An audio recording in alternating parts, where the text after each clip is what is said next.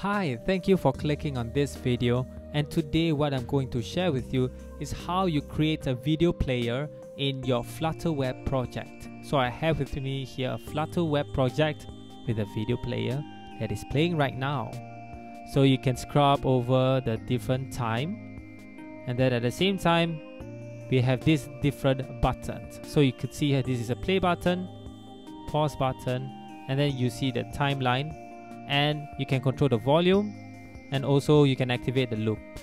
So let's go to the end of the video and let's see a short snippet of this video.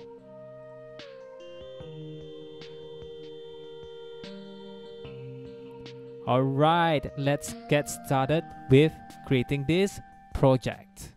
So inside the video player Flutter PubDev package, it only says Android and iOS. However, the web version has been implemented. It's not updated yet, but it's okay. If you scroll down all the way at the bottom, you can see the web platform version has been supported. So let's install our video player package. Go to your PubSpec YAML and just insert the video player according to the latest version. Once you have installed it, now let's copy and paste this example code at the bottom and then paste it. And for this link, it is not working. So I have a link of the same movie that is in the example in the link in the description. Alright, so let me go through what the code is all about. The first thing is that we have to initialize a video player controller. When are we going to initialize it? During the initial state. So network basically means we are able to get the video through a URL and then we will use the method initialize. At the same time, we will use this set state to ensure the first frame that's being initialized. Alright, then if you were to go to the bottom over here, you could see that we have a center video player. In the inside the video player, we use an aspect ratio widget that we got from the controller dot value dot aspect ratio. So the property aspect ratio has been given to us once we have initialized our video player controller. Then we also have our video player as our child widget using the controller that we have. If you see the video itself without the different play button and such, that is the video player. So let's save this and let's run our app. Okay, so once you have rendered your Flutter web project, it looks something like this. So this whole black rectangle is the video player widget. And then you can see our floating action button over here. So if you look back at our code, our floating action button uses the is playing property to see whether our video is playing. We can use the pause and play method in order for us to play or pause our video. At the same time, we can use the is playing value to show the pause or play arrow icon. So this is our example project. So it's currently working now. Okay, so the thing is we are able to play and pause the video. What if we want to go to the middle of the video? That's where the progress indicator widget comes in handy. So let's create it. Before we create a progress indicator, let's change some layout first. So let's change the center into a column. And let's convert the child into children. Okay, if we save this, now our video has been pushed up. Okay, so one thing that I want to talk about also is the aspect ratio. So the aspect ratio allows us to have the same aspect ratio according to the different sizes. So if we were to make it smaller, you could see that our video aspect ratio remains the same. If we go bigger, then it fills up accordingly until to the maximum, to the abyss. So there's bottom overflow by 7.1 pixels. How do we do that? Is we can make it into a single child scroll view. We can wrap the column with a single child scroll view. If you save this, then we don't have any overflowed pixels. So we will spread all of this all the way, you could see that we can go up and down.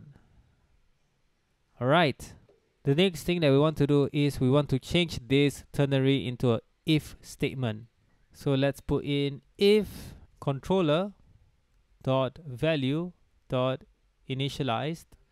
Oh, it's over here. Now let's remove this container and ternary and this statement over here and let's save this. Alright, it looks way better.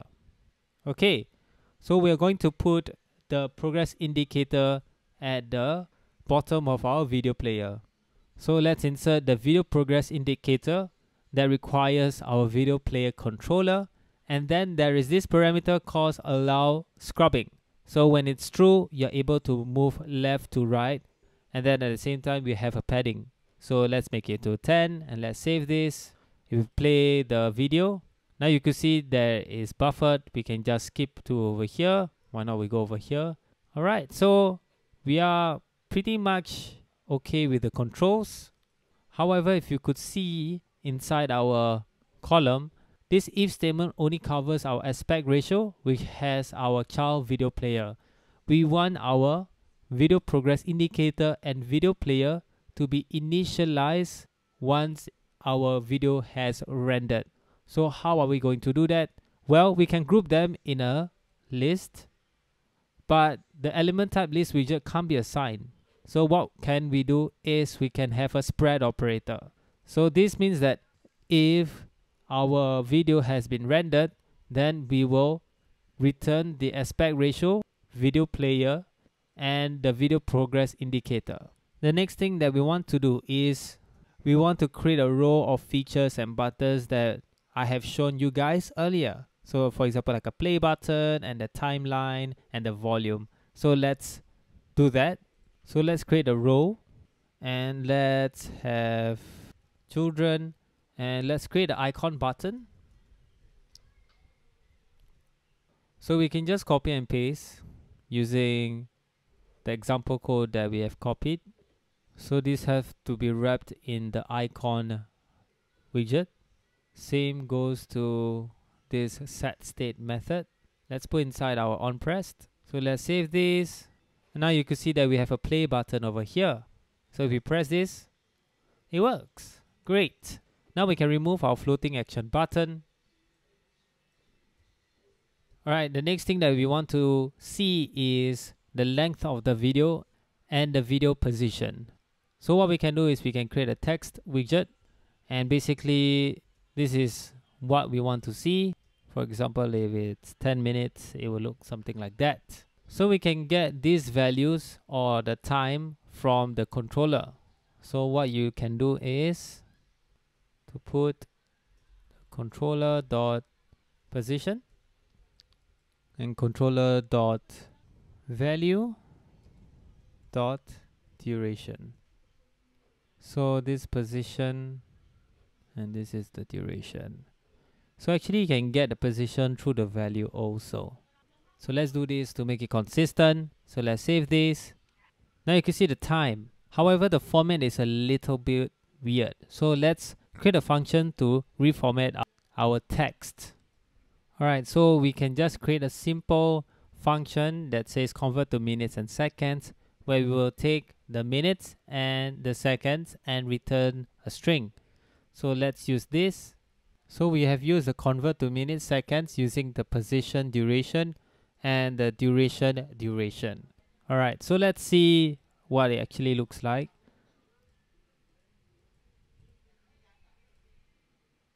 Alright, so the first thing is that it doesn't update when the video is playing. However, when we stop it, then it shows us where exactly our position. And then we have this 68, which is what we don't want. So let's solve this error where we are unable to see the time live. Since this is a stateful widget, what we need to do is that we have to make our text widget change according to the state. So how we can change the text widget is we first need to create two variables called video length and video position with the duration type. Secondly, what you need to do is you need to add a listener using set state. So what this means is that our current video position, which we are listening to, is changed according to where exactly the current playback position of our video. So then we can use this video position and then we can put it side over here. So let's save this. Okay, so we play our video. Now our text is changed accordingly. Great. So the next one is video position. So what we can do is that we can put it inside this set state. So we can just copy this and then let's just change the word length over here. Sorry, duration. So we can make use of this video length. All right, great. Okay, the next thing is the formatting. The formatting is very weird. So what you can do is you can have this ternary, meaning that the minutes, if we look back, if it's less than 10, I assume that it only shows one digit. So what we can do is we can just put in the zero at the start and then the number that's less than 10 will be inserted. If not, then we will just put in both of the numbers. So let's see if these minutes work. Great, so you can see 00 and 09. However, we're going to do the same thing with the seconds. So let's copy everything over here and paste it over here. And let's change this in minutes to in seconds. Alright, so let's save this You could see that our seconds has more than 60.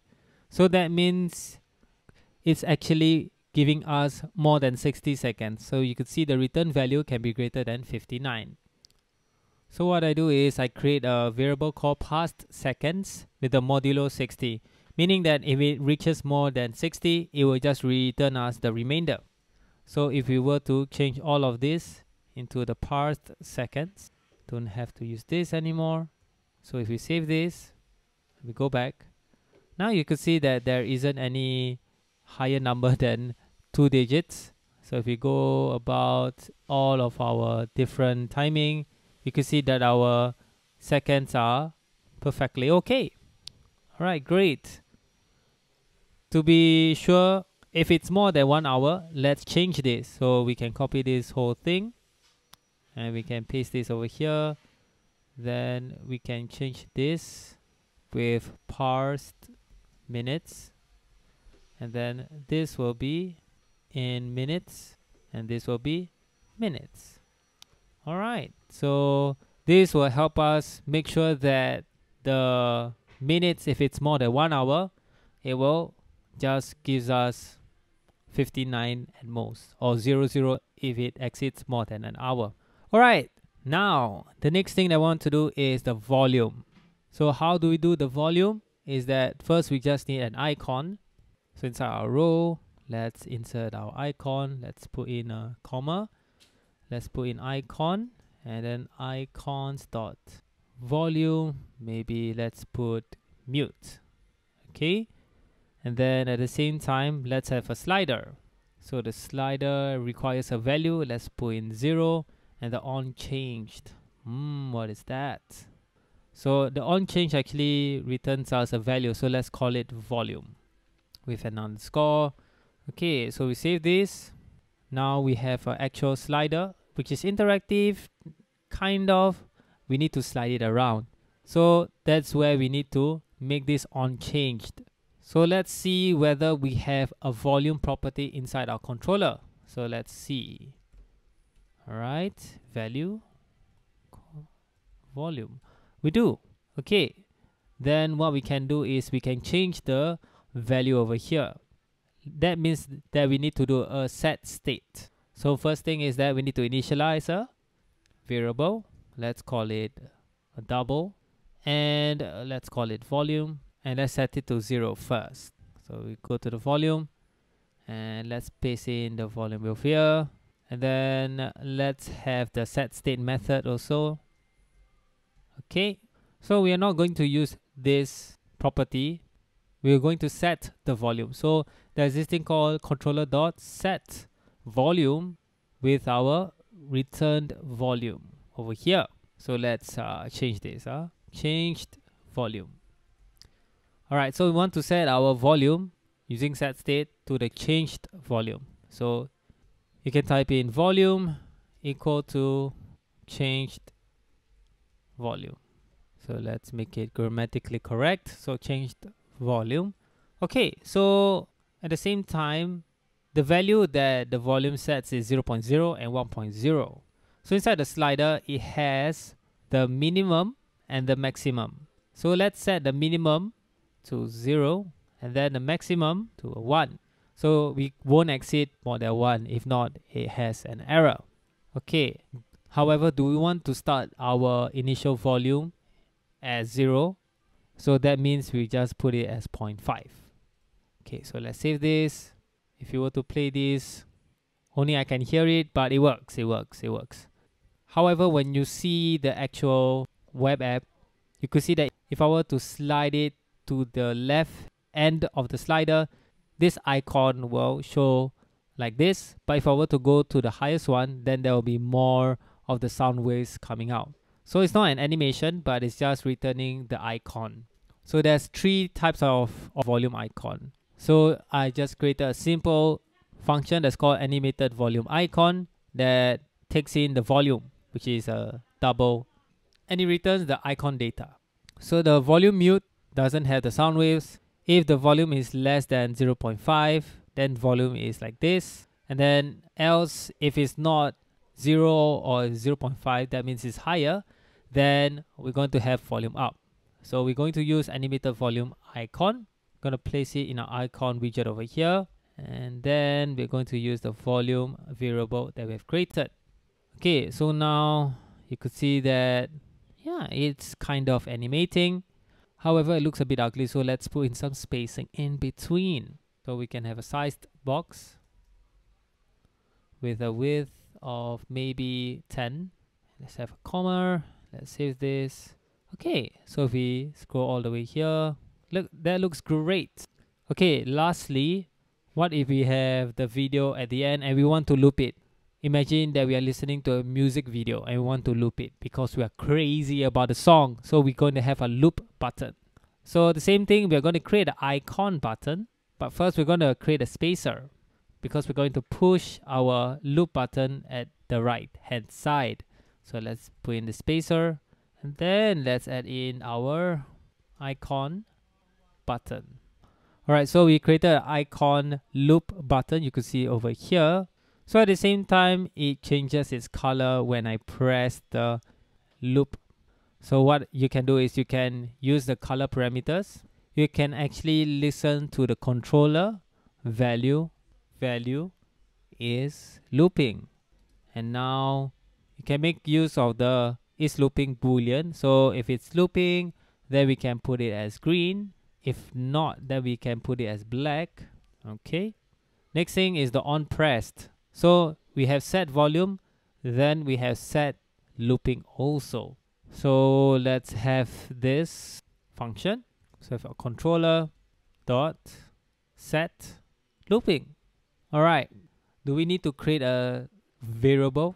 Not really, because we can actually get the value of the looping over here. And since we are only switching from true to false, what we can do is we can have this exclamation mark to invert the boolean. So let's save this. So if we press on the loop button over here and we play it and let's hope that it actually loops. So let's see the bird pooping. Alright, so it actually loops. Great. There we have it.